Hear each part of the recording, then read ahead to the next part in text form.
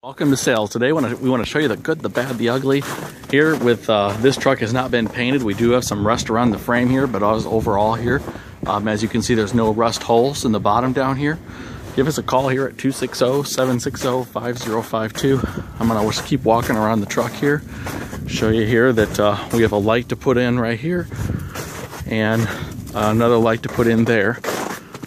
And It is missing the passenger mirror and uh, we have a hole in the seat right here. And uh, works out real good here. You can see it has 56,000 miles. Uh, come on around here. Take a look here at the frame. Same deal here. Um, no rust holes but there is surface rust as around. And you can see that the dump body does work. Uh, even a load of chips here in the back that we'll have to dump out. Uh, nice hitch here on the back along with your receiver there. Thanks so much for watching the video.